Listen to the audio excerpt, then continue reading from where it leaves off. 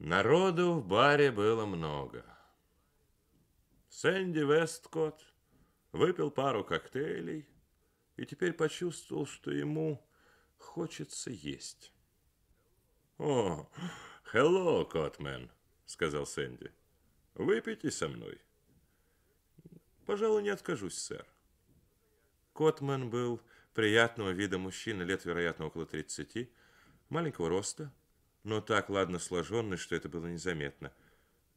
«Как Стелла?» – спросил Сэнди. «Хм, «Отлично, сэр. Она, знаете ли, каждый раз должна немного полежать перед выступлением. Э, говорит, что это очень успокаивает». Хм, «Я бы и за тысячу фунтов не согласился повторить ее фокус». «Да уж, конечно. Никто, кроме нее, не сможет этого сделать». В жизни я не видывал такого жуткого зрелища. Котман хмыкнул. Он счел это замечание лесным. Стелла была его женой. Правда, проделывала трюк и рисковала жизнью она, но пламя придумал он. А ведь именно пламя особенно нравилось публике и обеспечило их номеру такой огромный успех. Стелла прыгала в резервуар с лестницы в 60 футов высотой, а уровень воды в резервуаре был всего только 5 футов. Перед самым ее прыжком на поверхность воды выливали немного бензина, и он поджигал его. Пламя взмывало вверх, и она бросалась прямо в огонь. «Пако и Спинель говорит, что у них в казино никогда еще не было такой приманки для публики», — сказал Сэнди. «Хм, «Я знаю. Он говорил, что в этом году в июле они продали столько обедов, сколько обычно продают в августе. И все, говорит, благодаря нам». Хм. Ну, надеюсь, вы на этом тоже кое-что сколачиваете. Э, да как вам сказать, сэр? Ведь у нас с ним заключен контракт, ну и мы, конечно, не знали, что будет такой бешеный успех. Но мистер Спинель поговаривает о том, чтобы продлить контракт еще на месяц. Э, так вот, откровенно скажу вам, на прежних условиях или вроде того, он нас больше не заполучит. Э, «Вот пришли мои друзья», — сказал Сэнди. Он кивнул Котману и отошел. Из дверей выплыла Ева Барретт в сопровождении остальных гостей, которых она встретила еще внизу. Вместе с Весткотом восемь человек. «Хм, «Я так и знала, что мы найдем вас тут, Сэнди», — сказала она.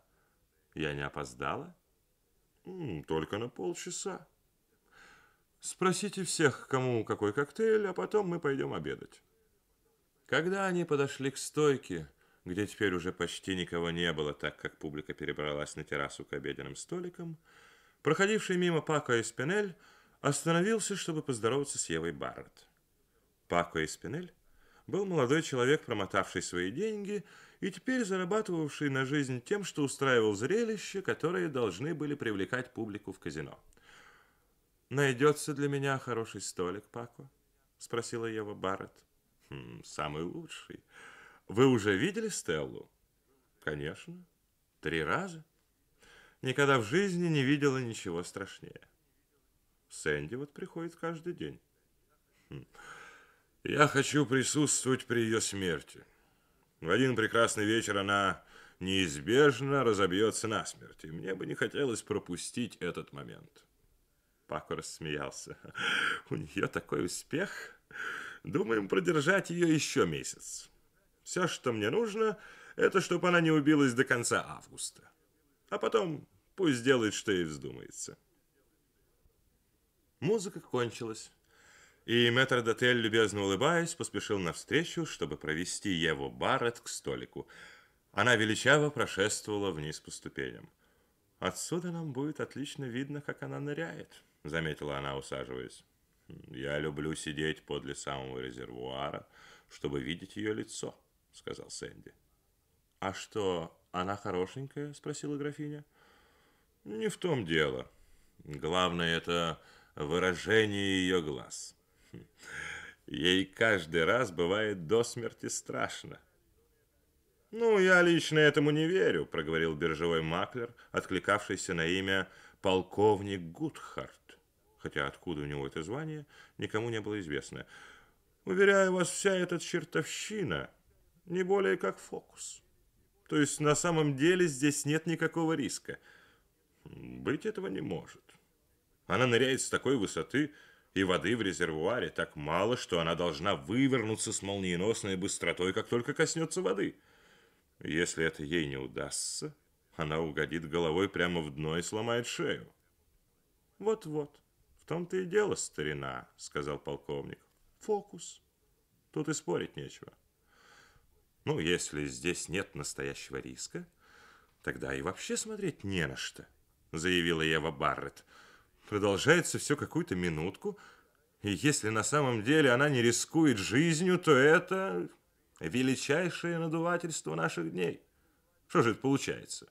Мы приходим сюда по стольку раз, а тут все оказывается сплошной обман. Резервуар находился в левом конце террасы, а позади него поднималась поддерживаемая подпорками необычайно высокая лестница с маленькой площадкой наверху. Сыграли еще несколько танцев. Потом музыка смолкла, и лампы потускнели. На резервуар направили прожектор. В сияющем кругу стоял Котмен. Он поднялся на несколько ступенек и остановился на одном уровне с краями резервуара. «Леди и джентльмены!» – выкрикнул он громко и отчетливо. «Сейчас вы увидите удивительнейший номер нашего столетия. Мировая чемпионка по прыжкам в воду, мадам Стелла, прыгнет с 60-футовой высоты в озеро Пламени, глубиной в 5 футов. Это никому еще не удавалось, и мадам Стелла согласна заплатить 100 фунтов всякому, кто решится сделать попытку. Леди и джентльмены, имею честь представить вам мадам Стеллу. На широкой лестнице, ведущей на террасу, появилась маленькая фигурка. Быстро пробежала к резервуару и поклонилась аплодирующей публике. На ней был мужской шелковый халат и купальная шапочка. Худое лицо загримировано, как для сцены.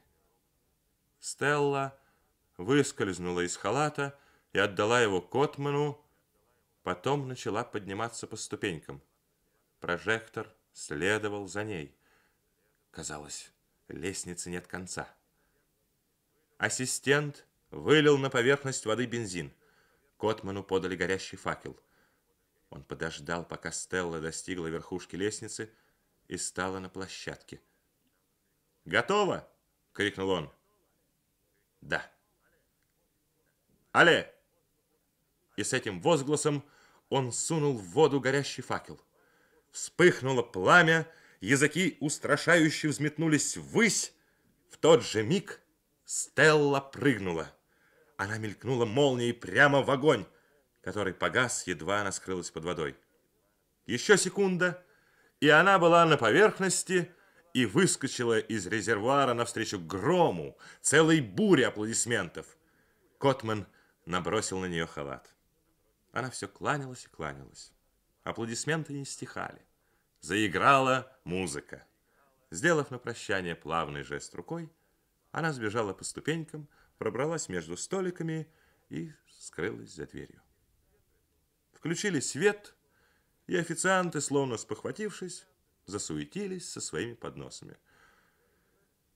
Сэнди Весткотт вздохнул, разочарованно или облегченно, он и сам не знал. «Шикарно», — сказал английский вельможа. «Явное надувательство», — сказал полковник с чисто британским упорством. «Готов поспорить на что угодно». Хм. «Не успеешь оглянуться, как уже все кончилось», — сказала супруга английского лорда. «Право же, за свои деньги можно бы ожидать большего». Деньги-то, конечно, были не ее. Она своих денег никогда не платила. А Сид Котман и Стелла в это время сидели в баре. Она сидела, крепко сжав кулаки. Сид взглянул на нее и поспешно отвел глаза. Затем снова взглянул на Стеллу украдкой, чтобы она не заметила, что он на нее смотрит. Она беззвучно плакала. Слезы катились по ее бледному лицу. В чем дело, девочка? Сид, я не могу прыгать сегодня второй раз, схлипнула она. Да почему же? Я боюсь. Он взял ее за руку. Ну нет, я достаточно хорошо тебя знаю, сказал он. Ты самая храбрая женщина в мире. Выпей-ка бренди. Это тебя подбодрит. Нет, от этого только хуже будет. Но ведь ты не можешь обмануть ожидания публики. Это подлая публика. Скоты только и знают, что пить и объедаться. Сборище болтливых болванов, которым некуда деньги девать. Видеть их не могу.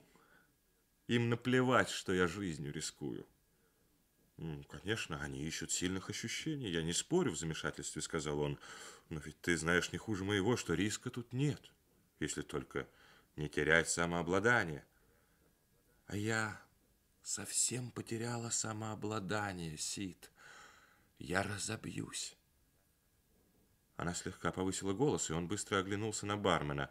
Но бармен был занят чтением газеты и не обращал на них внимания. Ты ведь не знаешь, как это все выглядит сверху, когда смотришь оттуда вниз, на резервуар. Честное слово, я сегодня думала, я упаду в обморок. Я не могу прыгать сегодня второй раз, слышишь? Ты должен избавить меня от этого, Сид. Если ты смолодушничаешь сегодня, то завтра тебе будет еще труднее. Нет, не труднее. Меня доконало, что нужно прыгать по два раза, да еще ждать столько времени. Ты пойди к мистеру Испинелю и скажи ему, что я не могу давать по два выступления за вечер. У меня нервы не выдерживают. Он никогда на это не пойдет. Все их доходы от ужинов держатся на тебе. Ведь люди приходят сюда в это время только чтобы поглядеть на тебя. Ничего не поделаешь. Говорю тебе, я больше так не могу. Он помолчал. По ее бледному лицу все еще катились слезы, и он видел, что она быстро теряет над собой власть. Он уже несколько дней чувствовал что-то неладное и беспокоился. Пытался не дать ей заговорить. Он смутно понимал, что лучше будет, если она не выразит словами то, что чувствует. Но он волновался, потому что он ее любил. И Спинель «Все равно хотел меня видеть», — сказал он. «Что ему надо?» «Не знаю. Я скажу ему, что ты не можешь давать больше одного выступления за вечер, и посмотрим, что он на это ответит. Ты меня здесь подождешь?» «Нет. Я пойду к себе наверх». Десять минут спустя он прибежал к ней возбужденный, веселый, довольный. Он широко распахнул дверь у меня для тебя отличные новости, дорогая. Они оставляют нас еще на месяц и будут платить вдвое. Он подскочил к ней, чтобы обнять и поцеловать ее, но она его оттолкнула. Должна я прыгать сегодня? Второй раз. Боюсь, что да. Я пробовал было договориться только на одно выступление в день, но он и слушать не захотел. Говорит, это совершенно необходимо, чтобы ты прыгала во время ужина. И право же, за двойную-то плату дело стоит того. Тут она бросилась на пол и разразилась целой бурей слез. «Не могу я, Сид, не могу! Я разобьюсь насмерть!» Он сел подле нее на пол, он обнял ее и ласково погладил – Возьми себя в руки, детка. Не можем же мы отказаться от такой суммы. Подумай только, этого нам хватит на целую зиму, и можно будет ничего не делать. Да и осталось-то всего каких-нибудь четыре дня в июле, а потом только один август. Нет, нет, нет, нет, нет, я боюсь. Я не хочу умирать, Сид. Я люблю тебя. Я знаю, детка, а я люблю тебя. У нас еще Никогда не было таких денег и никогда больше не будет. Ты же знаешь, как это бывает. Сейчас у нас шумный успех, Но ведь рано или поздно это кончится. Надо ковать железо, пока горячо. Неужели ты хочешь, чтобы я умерла, Сид? Ну, глупенькая, ну что бы я делал без тебя? Нельзя так распускаться, не забывая о собственном достоинстве. Если ты в самом деле так сегодня расстроилась, я скажу Испинелю, что тебе стало дурно. Думаю, на один раз это сойдет. Не сегодня, а вообще никогда.